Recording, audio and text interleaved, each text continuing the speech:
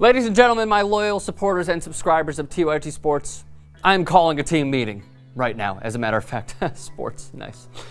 So, what we are doing right now, not just with TYT Sports, but the umbrella, the in, entire network of the Young Turks. We have an Indiegogo campaign where we are transitioning from one studio to another, and we want you guys to be a part of it. How exactly do you do that? Click the banner down here, this annotation, and go to our Indiegogo site. Now, we are trying to raise a minimum of $250,000, but again, you guys, you the viewers, can be a part of it every single day. What exactly do you earn from this? You could earn a date with one of us potentially. I mean, it might be in the cards for the right amount.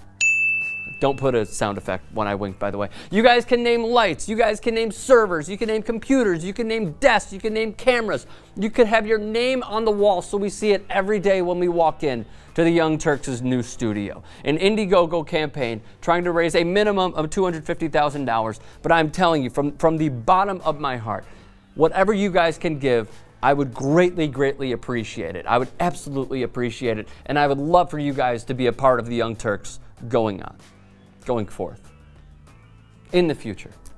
I love you.